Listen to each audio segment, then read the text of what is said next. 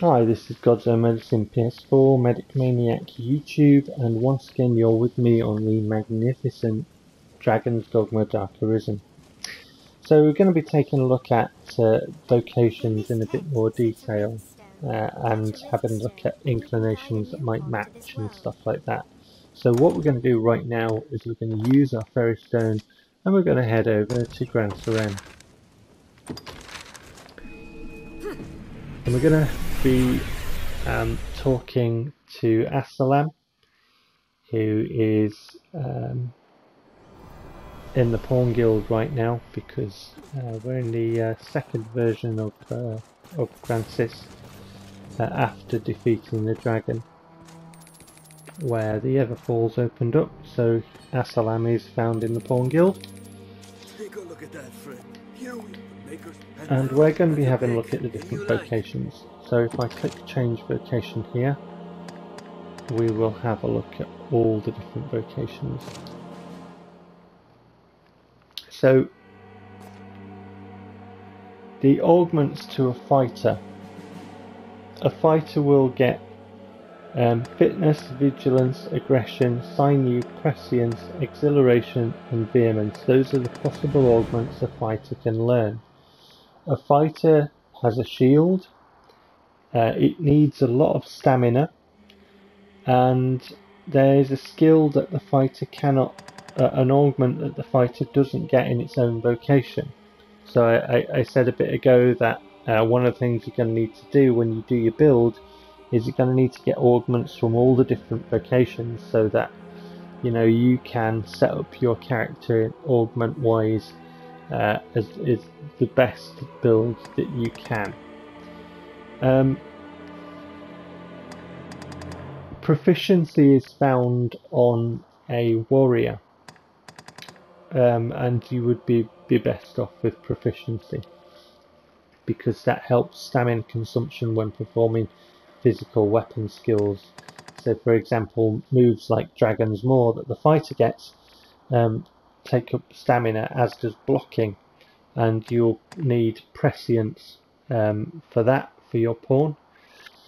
But what about inclinations for a fighter? So, a fighter is there to draw attention. Um, it ha can have moves like shield drum. If we go on the skills, uh, shield drum we will see down here.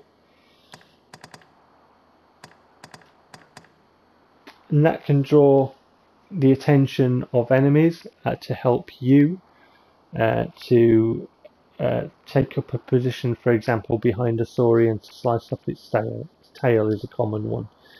Or it can try and draw the ire in the bitter black of um, one of the huge gore cyclopses, prisoner gore cyclopses or something, allowing you an opportunity to do something, you know, in the battle. Um, so fighters can utilize utilitarian. Uh, fighters can also, you know, take a lot of the the attention, like I say, to help out the team, but they can also get in there and attack. They like to, I mean, uh, if you see an eliminator and a pawn fighter having a fight, which I've done over the years, and you, you, you have a good fighter set up, they really can take take down eliminators, you know, perfect blocking them and you know, really getting stuck in there. They're good to watch if you've got a good a good setup. Um, I like to set up a fighter um, utilizing the bands that you get from from the bitter black. Uh, shield skills I like on a fighter are sheltered assault, um, shield drum, and I like I like shield storm as well because they can utilize that to break, you know, for example, Elder Ogre's uh, blocking moves and stuff like that. Sometimes they use shield storm in a very strange way, particularly when spectres or phantom ghost type enemies are around. They'll spam shield storm a lot for no reason, but when they do use it right, it can be really good. I like Dragon's Maw, but you have to have proficiency and good stamina on you on your um, your fighter. I like, I love Steel Will. If you couple that with Spell Screen from a mage, that can be really good. Um, and and then we're looking at perhaps a, a move like Hindsight Sweep from a band or something like that. Um, but fighters generally, you know, really get stuck in. They can really help the team out. I, have got my fighter set up to be um, mitigator challenger, I think, um, or challenger mitigator. Um, but yeah, you know, you have to watch stamina consumption on fighters because they block a lot. So if you have like Scather, they'll really tend to use that stamina. So if you've built a fighter with a lot of stamina, you know, maybe you can use use Scather on that. But I, I tend to use Scather on other uh, vocations, much like I showed you with the, my pawn, who's a strider. And I like to have the fighter to, you know, draw attention, to take down uh, a number of enemies, and that's why I've got mine as mitigator. And also, it can, you know, take ranged attackers because it can close them down with its shield. So I like to do that. But yeah, utilitarian's not a bad, not a bad one, especially if it's got a good bestiary as well.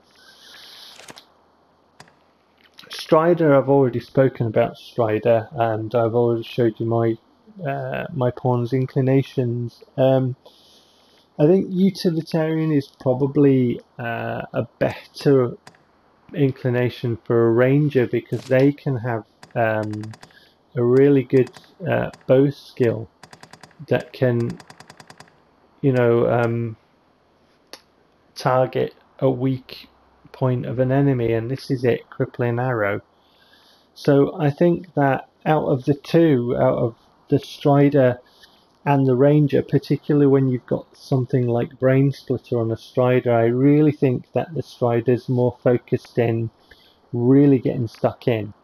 The Ranger uh, will predominantly use the bow, and I really feel that utilitarian is is a really good um, inclination for a ranger.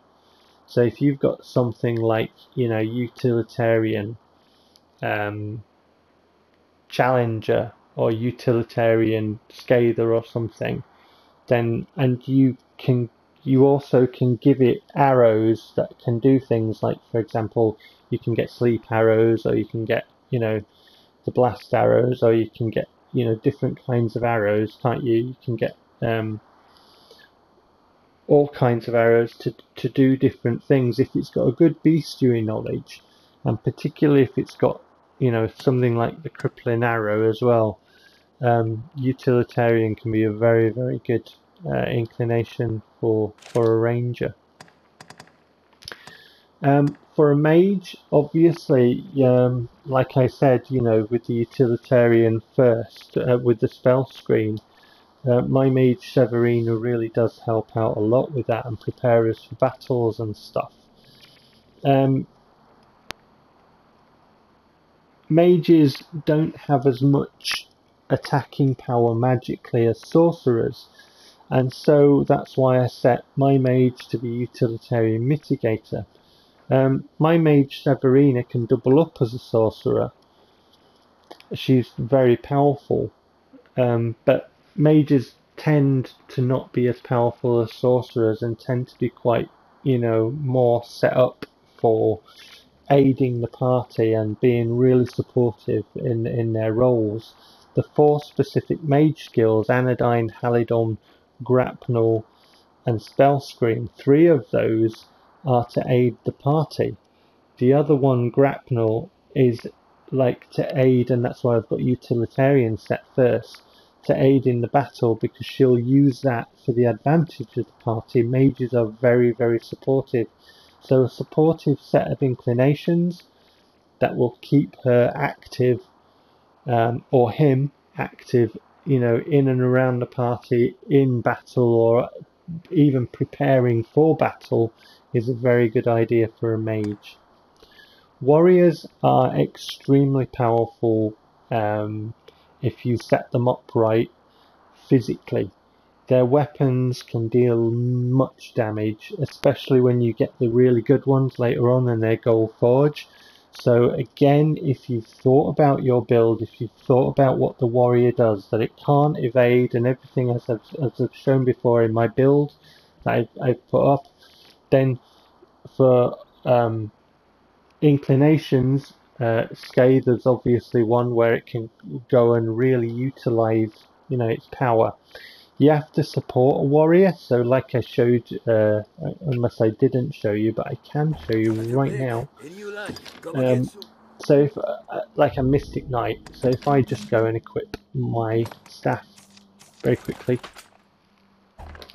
and then I go into my skills, into my status and skills, you'll see that one of my mage skills is High Sopor. Now I've got a band for that so I can use Grand Sopor. But if I'm supporting a warrior, I can, for example, play Mystic Knight, I can put enemies to sleep. Now if it if your warrior's all set up properly and they've got Arc of Deliverance, that takes a while for a warrior to charge. But they will charge it when, when enemies are asleep. Or for example, um, if Severina's holding it with grapnel, or if uh, Pixie's slowing it down with lassitude or something like that. These sort of skills help warriors um, to utilize their power and their most powerful charge up, which is Arc of Deliverance.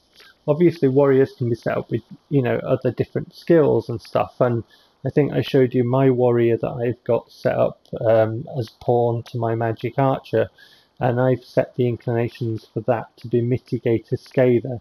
But really your warrior you want to be supporting in your party and you want it to have inclinations where it can go and really use put its power you know into into full effect. So inclinations along those lines for a warrior are um, you know are favoured in my opinion.